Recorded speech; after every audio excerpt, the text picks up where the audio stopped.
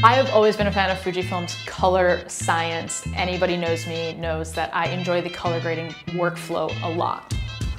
I love the vibrant and rich colors that we were able to get while we were on set, especially during scenes where you get a little bit worried about dynamic range when you're working with natural light or low light and you know the image held up extremely well, was able to pull those really nice colors out of it and still retain some of that highlight and shadow detail that you get a little bit scared about.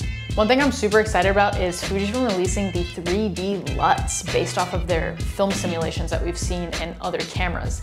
I love film simulations, but I am a F-Log2 C diehard. So the ability to actually be able to now monitor your image with these 3D LUTs, but then also use them in post-production is going to be an absolute game changer. And I'm super excited that that's the direction Fujifilm is going in.